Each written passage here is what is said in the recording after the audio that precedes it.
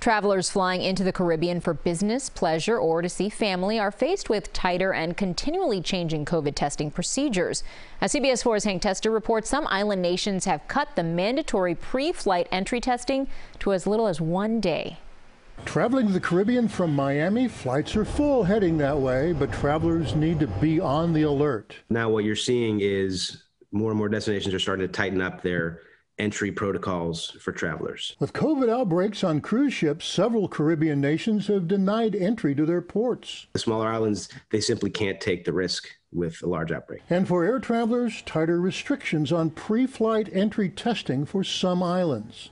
St. Bart's uh, was three days. Now they're changing it to one day. And for the Bahamas, a favorite getaway for Miami folks, not to mention so many Florida residents have family there, an important change. Well, the Bahamas just tightened theirs from five to three days, meaning you have to get a test. Uh, and you have to take a test and receive a result within three days before you fly to the Bahamas. But the other side of the story Mexico, no proof of test needed. Book a trip and go. Business booming in Cozumel. But remember, you need a test with negative results to return to the U.S., as is the case with all travelers entering the USA.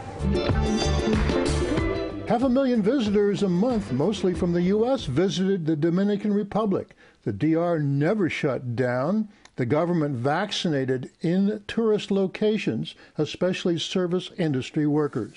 So the DR, basically, you don't have to get a test to go.